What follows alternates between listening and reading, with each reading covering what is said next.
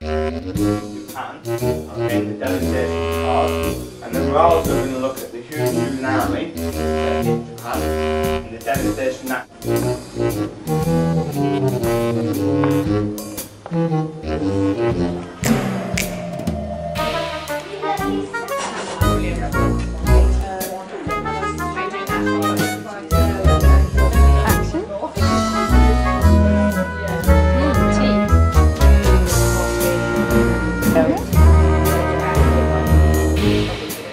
Anyone?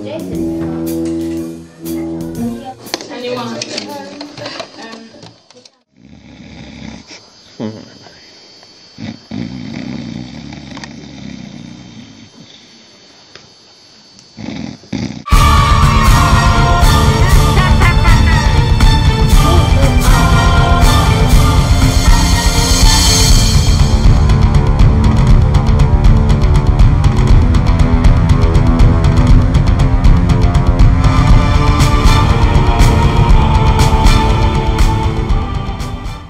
the horror.